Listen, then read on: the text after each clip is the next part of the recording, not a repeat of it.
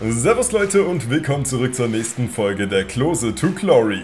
Wenn euch die Serie gefällt, dann lasst gerne einen Daumen nach oben da und dann starten wir hier rein mit einem Spiel in der Bundesliga gegen Düsseldorf.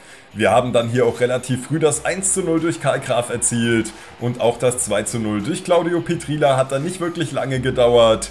Danach haben wir so ein bisschen den Fuß vom Gaspedal runtergenommen, aber dann trotzdem noch das 3 zu 0 gemacht.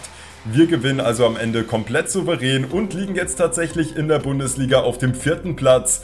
Das bedeutet natürlich erstmal nicht allzu viel, aber es zeigt zumindest in diesem Jahr könnte es in der Theorie mit der Qualifikation für die Champions League klappen. Aber das ist natürlich alles erstmal noch in weiter Ferne.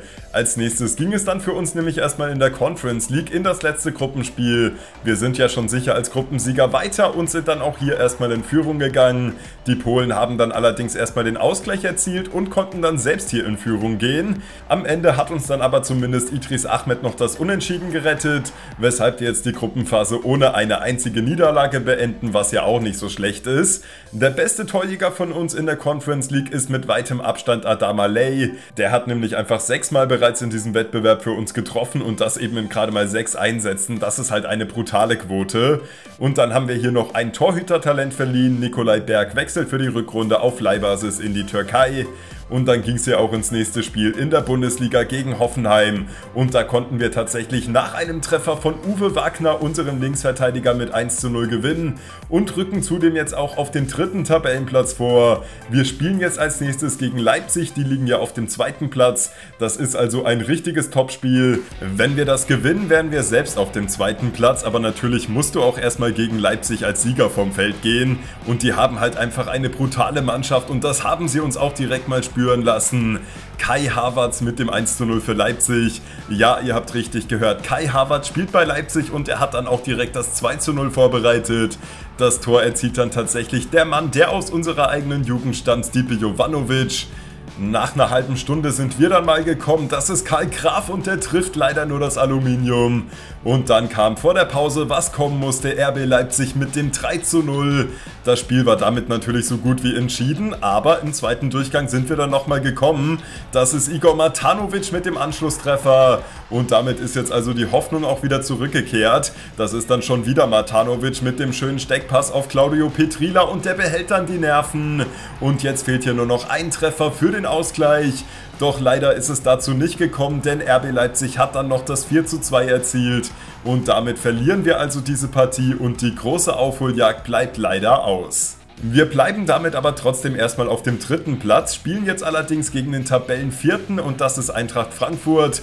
Wir haben hier aber wirklich erstmal gut begonnen. Das ist Matanovic mit der ersten guten Chance. Und der 1,94 Meter Stürmer blieb auch in der Folge vor allem nach Flanken gefährlich. Wir haben es aber verpasst, das Tor zu machen und dann kam, was kommen musste. Gefühlt mit dem ersten Torschuss geht Frankfurt hier in Führung und leider sieht Tim Schreiber da auch nicht gut aus, den muss er halten.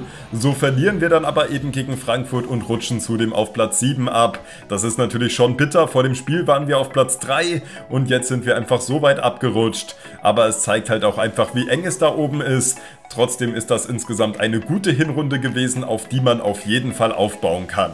Wir sind dann jetzt hier in der Winterpause angekommen. Ich habe eigentlich nicht vor, auf dem Transfermarkt aktiv zu werden. Trotzdem steht dann schon ein Transfer fest, allerdings für die nächste Saison. Der Vertrag von Dejan Lubicic läuft nämlich aus und er wird sich dann ab der Sommerpause dem FC Straßburg anschließen. Tatsächlich ist es das dann aber auch schon wieder mit Transferaktivitäten gewesen und dann starten wir in die Rückrunde rein und da erwartet uns direkt der nächste Brocken. Nach Leipzig und Frankfurt spielen wir jetzt gegen den Tabellenführer, gegen den VfL Wolfsburg und da lief es dann auch erstmal nicht gut für uns. Der VfL ging hier nach einer halben Stunde durch Atli in Führung und knapp 15 Minuten vor dem Ende haben die Wölfe hier dann auch den Deckel drauf gemacht. Eike Schröder, das ist ein Megatalent vom VfL Wolfsburg mit dem 2 zu 0 und damit verlieren wir jetzt also hier das dritte Spiel in Folge. Und gegen den FC St. Pauli sollten dann natürlich endlich wieder Punkte her. Aber auch diesmal gab es hier erstmal ein böses Erwachen. Pauli ist nämlich nach gerade mal drei Minuten in Führung gegangen. Wir haben uns dann mit aller Macht versucht, gegen die Niederlage zu stemmen und wir haben uns auch einige Chancen rausgespielt. Aber der Ball wollte einfach nicht ins Tor reingehen. Es war wirklich wie verhext. Schaut euch das einfach mal an, was wir hier alles an Chancen liegen gelassen haben. Es gab hier dann aber nochmal den Freistoß und dann ist es hier Jekyll mit dem Kopfball an den Pfosten. Und dann steht hier auch noch Karl Graf im Abseits. Am Ende bleibt es hier also beim 0 zu 1 und wir verlieren jetzt zum vierten Mal in Folge. Als nächstes mussten wir dann hier zu Hause gegen Dortmund ran. Das ist natürlich wieder eine richtig undankbare Aufgabe. Im ersten Durchgang war es ein Spiel mit offenem Visier. Es gab auf jeden Fall Chancen auf beiden Seiten. Es ging dann aber erstmal mit dem 0 zu 0 in die Pause. Nach dem Seitenwechsel sind wir dann aber besser rausgekommen. Das ist hier ein guter Pass von Matanovic auf Yunus Akgün. Und der bringt uns hier dann in Führung. Und tatsächlich ist danach auch nichts mehr von Dortmund gekommen. Wir hatten dann sogar noch die Chance auf den zweiten Treffer. Am Ende bleibt es hier dann aber eben beim 1 zu 0. Das ist dann wirklich ein brutal wichtiger Sieg für uns. Und dadurch sind wir jetzt hier auch wieder auf den sechsten Tabellenplatz nach oben gerückt. Wir haben nur drei Punkte Rückstand auf Frankfurt. Die Champions League Plätze sind also weiter in Schlagdistanz. Aber man muss auf jeden Fall sagen, die Bayern haben sich wieder richtig krass nach oben gearbeitet. Die waren ja auch lange so auf dem 8. oder 7. Tabellenplatz und jetzt liegen sie auf Platz 3. Und ich könnte mir sogar vorstellen, dass sie vielleicht noch in der Meisterschaftsfrage ein Wörtchen mitreden werden. Bei uns sind dann auf jeden Fall die nächsten Wochen auch nicht wirklich einfacher. Wir spielen als nächstes gegen Leverkusen und dann gibt es das Rückspiel gegen RB Leipzig. Da würde ich uns jetzt auch nicht allzu viele Chancen ausrechnen. Die beiden Spiele und dann auch noch ein paar weitere gibt es allerdings erst in der nächsten Folge. Für heute ist es das nämlich gewesen. Wenn es euch gefallen hat, lasst gerne einen Daumen nach oben da und dann sehen wir uns beim nächsten Mal wieder. Bis dahin macht's gut, haut rein und ciao ciao.